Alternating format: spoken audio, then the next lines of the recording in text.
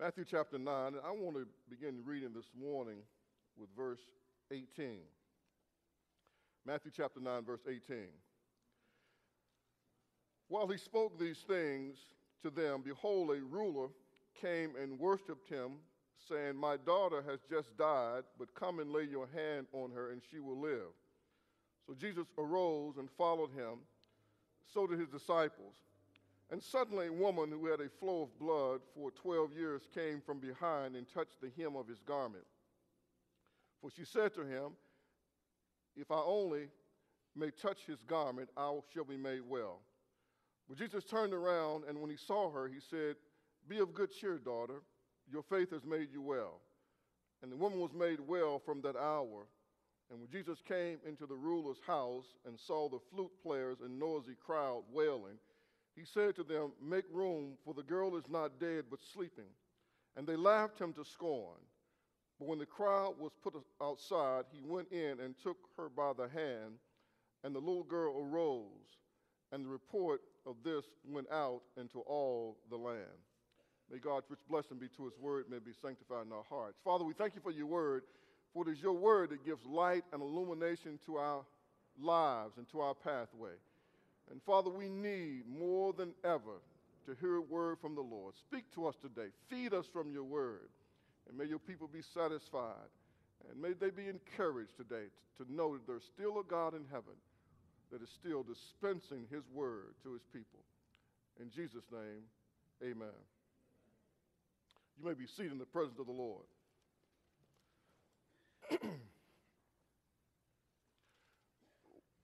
we're going to be continuing our mini series this morning from this overarching theme of as the Father sent me, so send I you. And that passage is in John's Gospel, John chapter 20, uh, verses 19 and through about 21.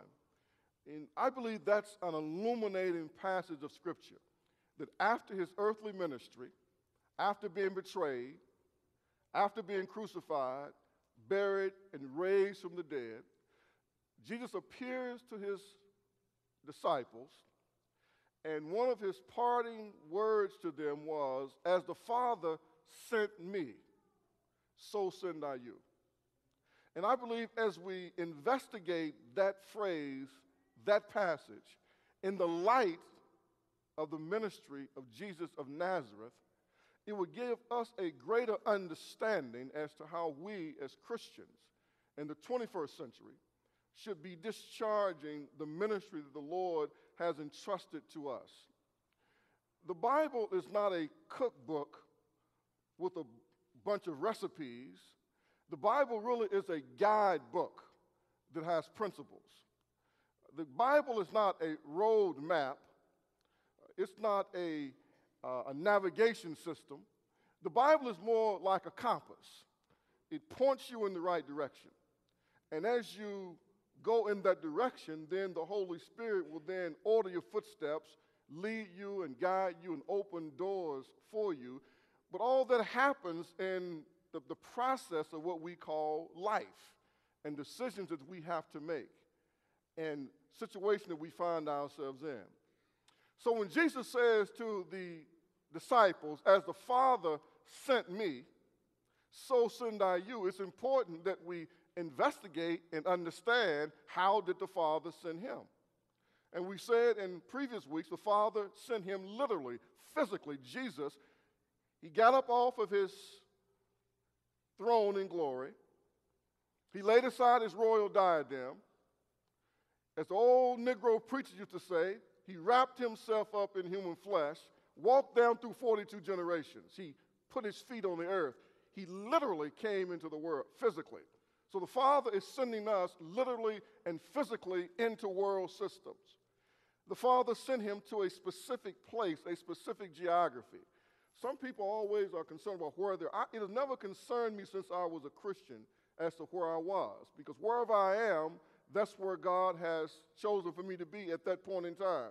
So I'm never worried about getting to the next place. I'm more concerned about am I doing what God wants me to do at the place where I currently am? And that's something young people need to understand. the future belongs to those that see it, but the future depends on what we do in the present.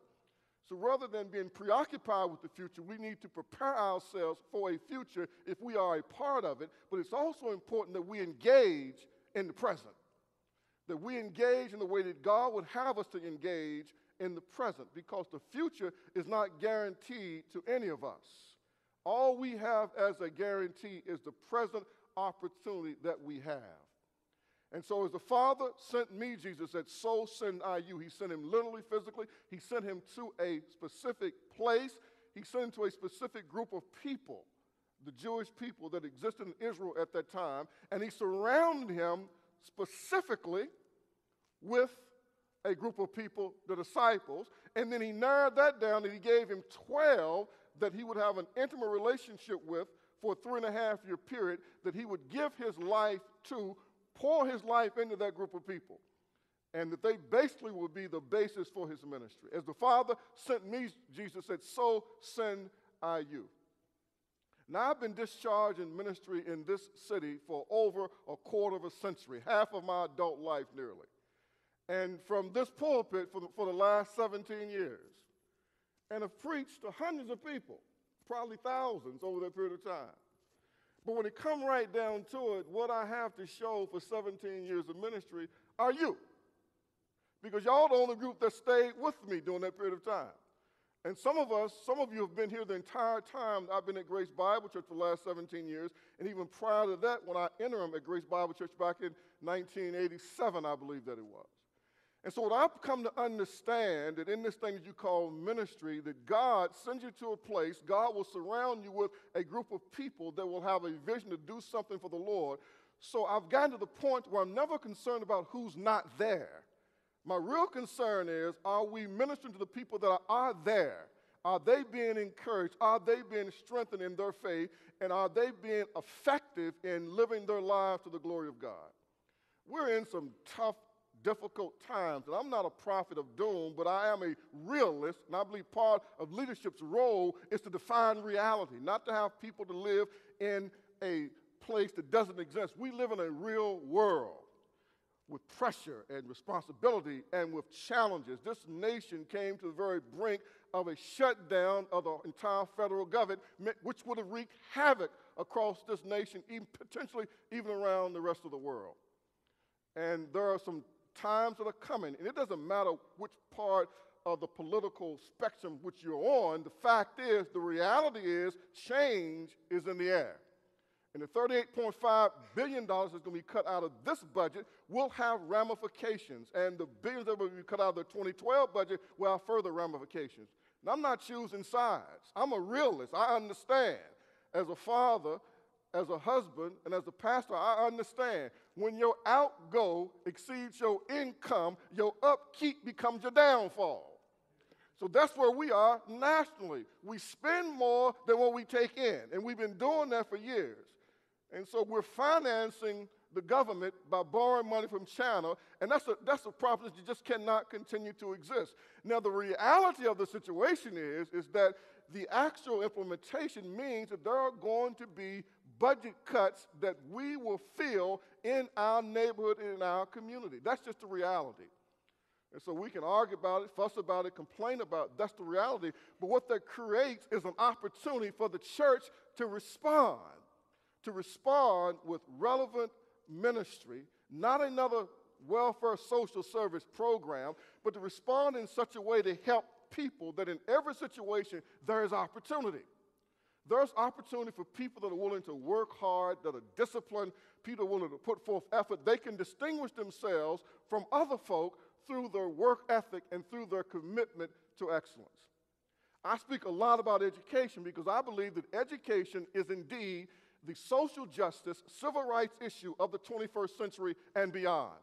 So, where we are in this nation and in the world, here's where we are. There are going to be two types of people in the United States of America. There are going to be people with literacy and numeracy skills, people that can read with comprehension, people that can compute, and people have the basic educational skills to be lifelong learners in a changing economy. Those people will be able to make the adjustments necessary, learn the new things they need to learn to keep themselves competitive in the marketplace and therefore will have access to employment opportunities as the society moves more and more to a very sophisticated, highly technological information age. Then there will be people that don't have literacy and numeracy skills and they're in trouble. They're in trouble because the huge manufacturing base in this country has seriously declined over the years and it's not coming back the way it used to be. America was the envy of the world after World War I because the European in- infrastructure was decimated because much of the war was spent on European soil. Germany and uh, England and even as far as Asia, Japan, they had no base for an economy. So wasn't the, the, the World War II wasn't fought on these soils, so our manufacturing base, it was in place. And it was the envy of the world because it had been blossomed under and during the time of the war. So we made the goods and we shipped the goods to the rest of the world. That's no longer the case. Now there are other places that have a manufacturing base that is equal to ours. They have a much lower labor cost. They can produce goods cheaper than what we can manufacture them here, and then we import them here. That's where we are. And so that's why it's so important to keep lifting up education and challenging young people and their parents to realize we are in the competition of our lives. And it's the people with the literacy and the numeracy skills who are the lifelong learners will be able to distinguish themselves from the rest of the group. And some of those people should be coming from the church. It used to be a time when the church produced the intellectuals, the church produced the scholars. As a matter of fact, many of the Ivy League schools, those schools came into existence to train preachers because people recognized that the preachers should be intellectuals and they should be able to weigh in on the difficult issues of the day and bring a biblical perspective of what thus saith the Lord. And so we're back there again. We're back there again in a time where the church needs to produce people that distinguish themselves from the rest of society as leaders. And as we do that, we demonstrate that the power of God and that the kingdom of God is being processed in and through the local New Testament church. Jesus says, As the Father sent me, so send I you. The Father sent Jesus into the world. He sent him into the world to a specific geographic location, to a specific group of people, surrounding him with a specific group of disciples, and they were to then to seek and to save that which was lost. To bring more people into this new sphere, this new kingdom of God that became known as the church. When you understand that passage and you use that passage to interpret the life and ministry of Jesus of Nazareth, you would see that Jesus was on a relentless mission to penetrate every single sphere of Jewish society. He left no stones unturned because he understood that people don't just live in a religious system. People live in a social system. They live in an economic system. They live in a recreation. They live in a cultural system. People live in complex systems, and those systems influence the way people think and the way they behave. So, if you're going to change a society, you can only do it by penetrating the system that has the influence over people and influence those systems in a way that is honoring to God. And that's exactly what Jesus did. That's exactly what he did. And so, when he, before he departs to go back to be to his Father, he has won disciples he has disciples strategically located, strategically placed in every single sphere of society, in powerful political places, in powerful economic places, in the commercial places, in the agricultural places, in the domestic places, in the religious system. He has disciples sprinkled everywhere so that they can influence their, that system with the message of the kingdom of God. Are y'all following me? That's what it means to be a Christian. What it means to be a Christian means more than just getting dressed up on Sunday morning and coming to church. That's important. And we ought to get dressed up on Sunday morning and we should come to church because we need the corporate experience. We need the corporate worship experience. We need the energy and we need the spiritual ambiance that's created by corporate worship. Because I believe that God does reserve a certain manifestation of His glory and His power when people come together in humility and in faith to submit themselves to the mighty hand of God, to allow God to minister to them, to fill them, to rejuvenate them, to replenish them. So we need that coming together. So we need that coming together to be reminded who it is that we are, but the Christian life is to be lived out in the marketplace. As we then go back in the spheres of influence where God has placed us, bringing the presence of God in those places, and that's what Jesus did. It's really simple, but it's profound. And the problem with the church today is the church views itself as the church only when it comes together. And we can only influence the people that come to the church building per se. But our role is to try to influence the greater society and to try to offer salvation through faith in Christ to as many people as we possibly can. And God will open the hearts of many, and they will come to faith in Christ. And then we can then connect them back to the local fellowship where they can be nourished and discipled. Well, I'm not going to be real long this morning, but there are a few points I want to lift up from this particular passage. Now, Matthew 8 and 9 comes on the heel of Matthew 5 and 7. Matthew 5 and 7 is a Sermon on the Mount. It is the most lengthy dissertation recorded in the scripture where Jesus speaks and he lays out an entire philosophy of ministry. He touches on almost every single area of life. He touches on spiritual life, on social life, on moral life, and he lays out principles that people should live by. So the question then becomes you have theological insight, you have doctrinal dogma, you have a mastery of the biblical text, but do you have any power? Can you make things happen? Can you get things done? And the real test is can we get things done in the name of Christ? Not can we say the right things, quote all the scriptures, pray the best of prayers, sing the mo- most melodious songs, but can we really get things done for the glory of God? And that was what the question mark was surrounding Jesus' ministry. So Matthew 5 and 7 is the tail part. Matthew 8 and 9 is the show part. So in Matthew 8 and 9, you have the most condensed, consolidated demonstration of the power of Jesus Christ in those two chapters. And he shows the power that he has the power over defilement as he healed the man with leprosy, the power over distance as he heals a man's uh, sick servant without even going to his house, the power over the disease as he touched and healed many people, the power over the elements when they were in the lake of Galilee and a storm arose, and he spoke to the wind and the sea and said, Peace, be quiet. The power over the demonic world as they go to where Legion was, the man was demon possessed, and Jesus takes authority over the demons. He's showing his power over the physical world, his power over the invisible world. That indeed the kingdom of God has come in power. And then in Matthew 9, verses 9 through 17, we see his power to pardon, his power to forgive. And that is the message that the world needs to hear. Many people are struggling in life because of guilt and because of shame. Because of guilt and because of shame. And guilt and shame and the stain of guilt and shame can only be removed as we know that we have been forgiven that we have been pardoned, that God has indeed taken away our sins.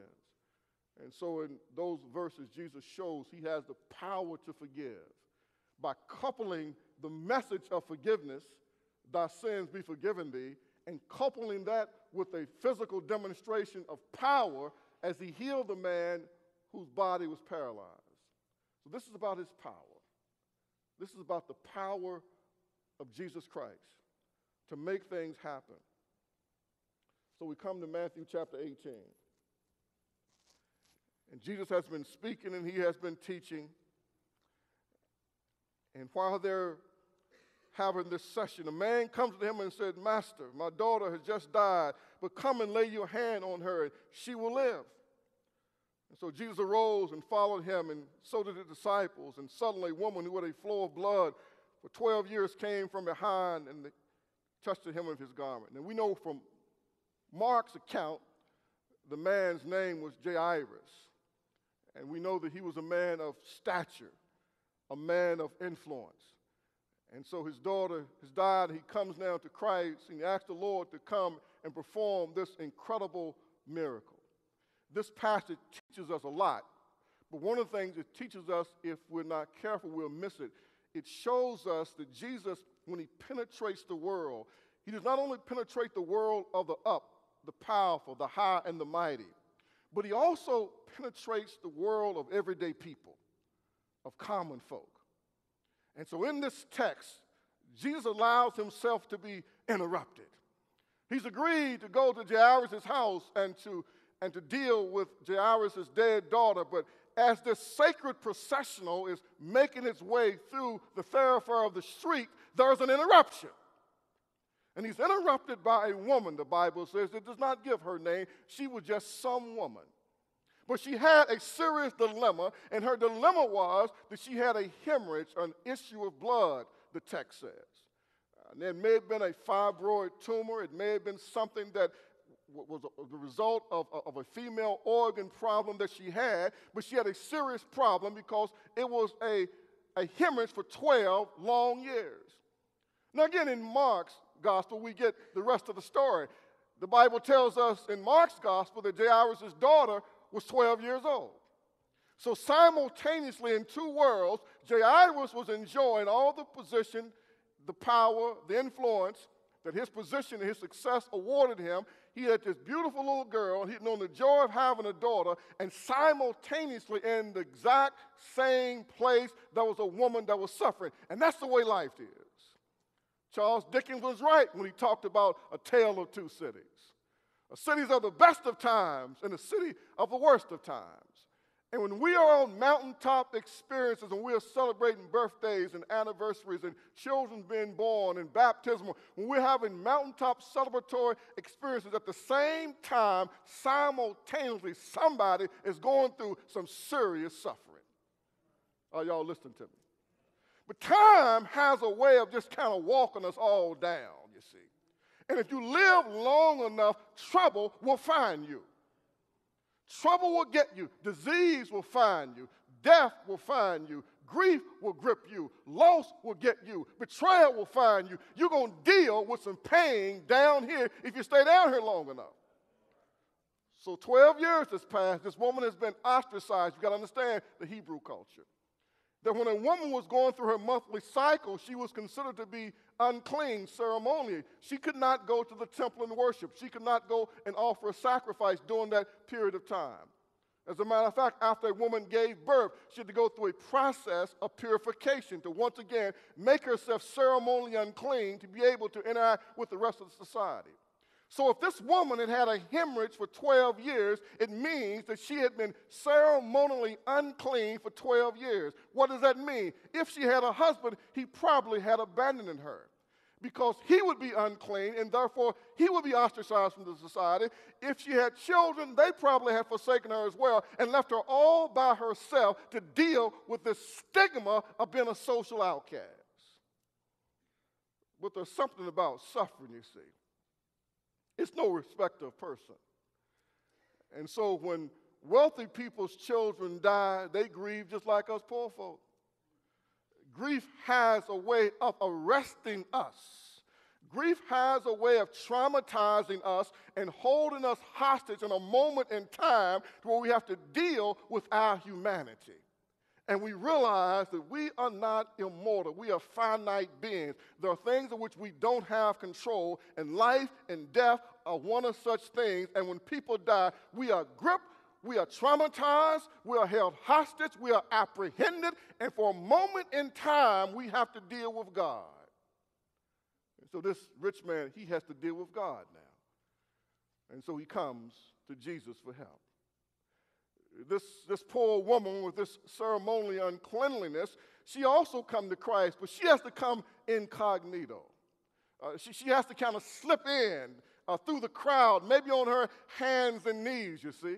And maybe people have stepped on her fingers. Maybe she's been kicked in the face. She can't come to him from the front. She cannot interrupt this sacred processional because if she does, then she's found out because she's not supposed to be in the crowd. But she finds her way to Jesus. And Luke's gospel says that she, she touched just a thread. That's all. She, she didn't, it, the, the, Matthew says to him, she didn't touch the hem of his garment. That, that's an incorrect translation. The holy men like Jesus, they would wear a garb, and a part of their outer wrap, they would have tassels that would hang from the bottom of their garment. And that tassel was a reminder to them that they were a barrier of the Word of God.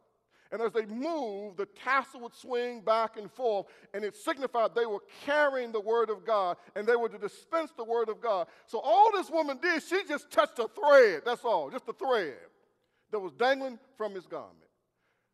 Now, Luke's gospel said, Jesus said, Somebody touched me. And Peter says, Lord, what type of question is that? People are pushing up against you, they're jockeying for position, and you have the audacity to say, Who touched me? Jesus said, No, somebody has touched me because virtue has departed out of me. He penetrates worlds, y'all. He penetrates the low worlds of the lonely, of the discouraged, or the broken, the destitute of the society, and he makes himself available to the low lives of the society. And all they have to do is reach up and touch just the hem of his garment. You know, some people come to church and the, the choir doesn't sing right for them, and the, the, deacons don't pray right, and the preacher don't preach right, and the ushers don't usher right, and the greeters don't greet right. Nobody did nothing right. And they said, I didn't feel God in that place. the problem is, they just like the people in the crowd. They bumping into Jesus, almost ran over him, almost knocked him down, and didn't even know that Jesus was in the house because he was in the house in that greeter, in the house in that usher, in the house through the choir, in the house through the deacons, in the house through the minister of the word. He was trying to talk to you, he was trying to minister to you, but you were so preoccupied with your world that you missed the experience. You missed the experience. I tell people all the time, people can be mad about whatever they want to be mad about. There's one thing I'm going to enjoy. I'm going to enjoy going to church.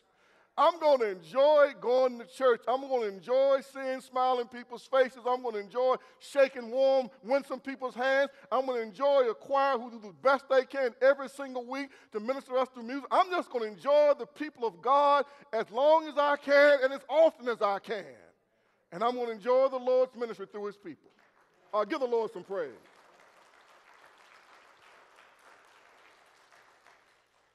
As the Father sent him, so send he us. He's sending us into the world. He's sending us in the world to make ourselves available to people who otherwise could not get to Jesus. They are so broken in their spirit. They're so crushed in their confidence. They don't believe that God really cares. And so God is sending us into the world just as Jesus went into the world to make himself available for this lowly woman with this issue of blood so she could touch him. And in touching him, virtue was restored to her. And not only was she healed physically, but salvation came. He's sending us into the world. You know, I've never been more excited. You know, I just wish I was just a younger man. You know, I wish I was a younger man. I understand what Bill, what Ben Tyler used to always tell me. There, brother Ben Tyler used to always tell me, "I wish that I would have met you when I was a young man." You see, but I'm excited because the more difficult, the more stressful, the more complicated the society becomes.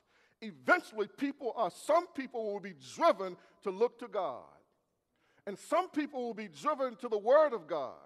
And some people will, will at least give an ear to what God's word has to say. So God is just setting the stage for the, for the church to have an opportunity once again to speak and to the issues of the day with a good word from God. Well, the Bible says as we sort of wrap this little homily up, that Jesus says to the woman in verse 22, and we saw her, he said, Be of good cheer, daughter. Your faith has made you well. And the woman was made well from that hour when she came into the ruler's house. And when Jesus came into the ruler's house, saw the flute players and the noisy crowd well, and, and he said to them, Make room, for the girl is not dead but sleeping. And they laughed him to scorn.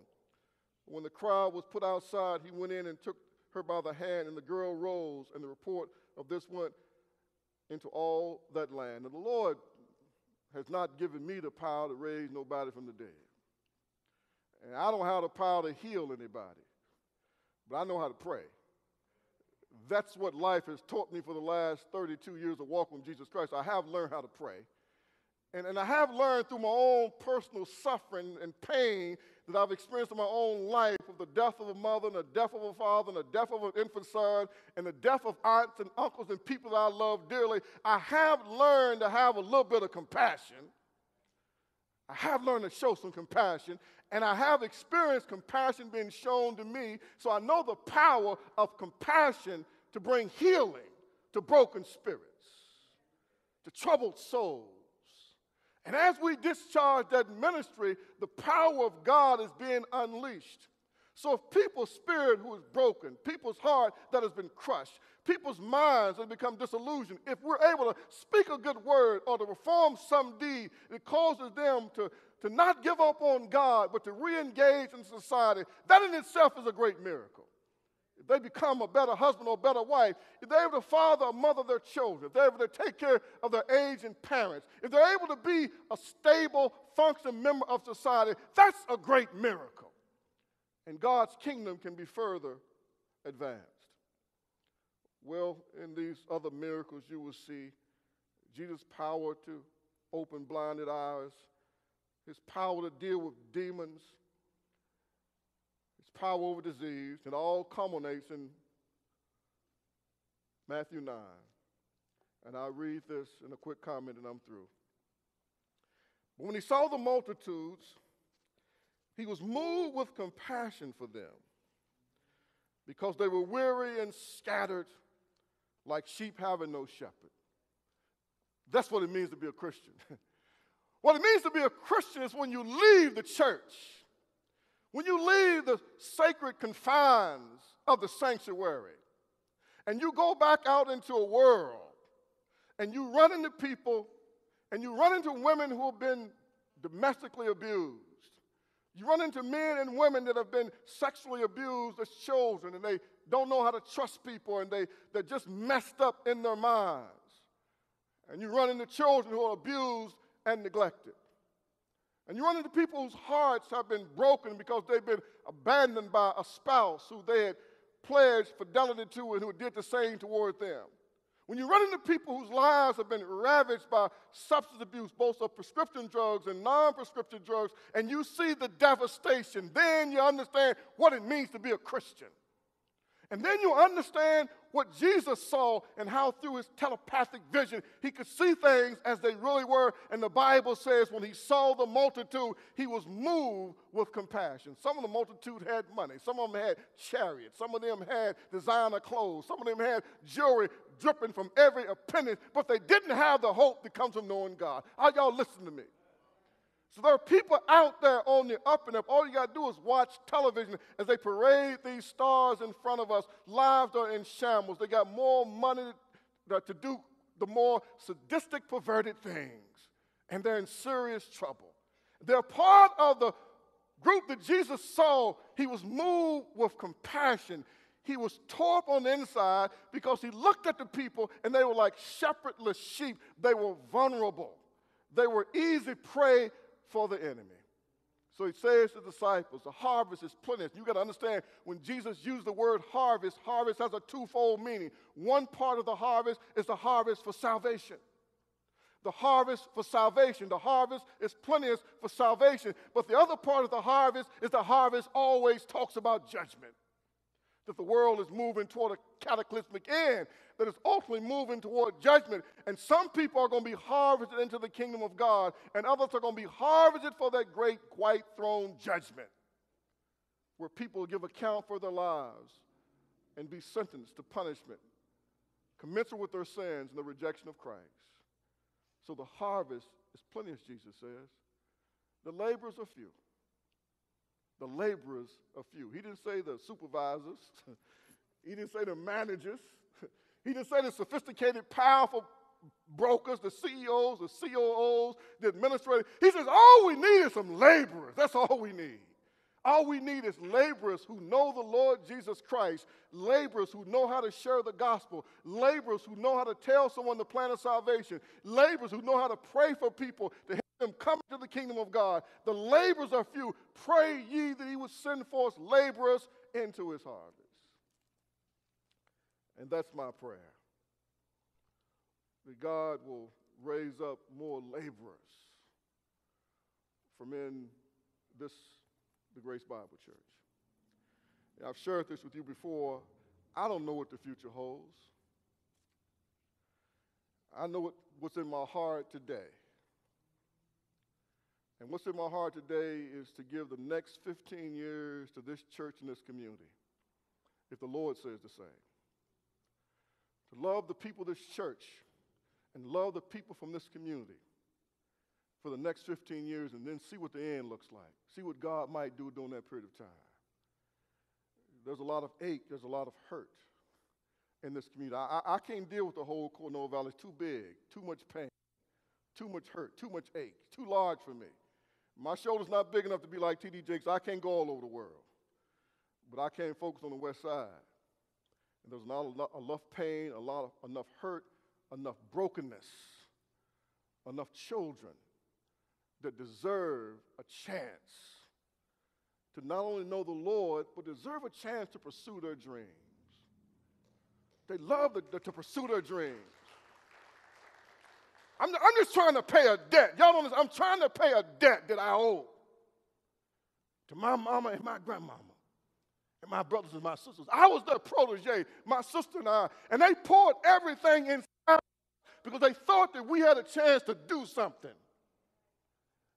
I'm just trying to pay that debt, to give it all back to give it all back. Everything's been poured into me to give it all back to a group of people. And I'm still looking for a group of young people, a group of young adults that I can spend time with and tell them what I've learned the mistakes, the successes, the pitfalls of dealing with people in powerful places, how to navigate the political system and not lose your integrity, your character, or your principle, how to speak truth to power and not flinch.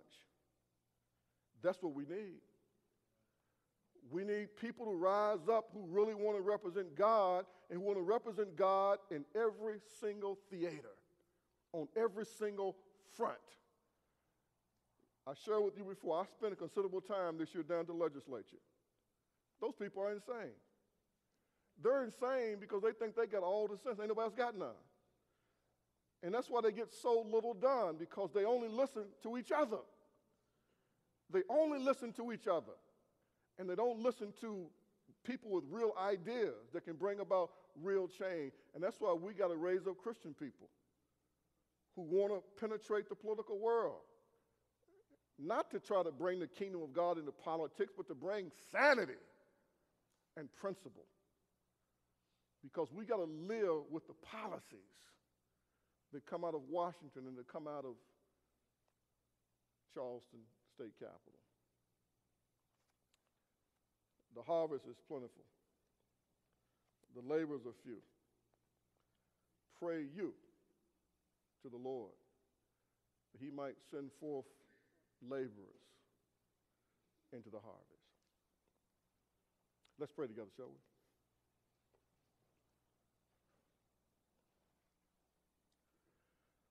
Father, we thank you for the privilege of being a laborer. Bring in harvest. Lord, though our numbers have dwindled over the years, we still believe you have a work for us. We just want to do that work that you have for us to do. If it would please you today, Father, to maybe call someone that's here out of darkness into the light. Maybe there's a man, a woman, or a boy or girl that's here today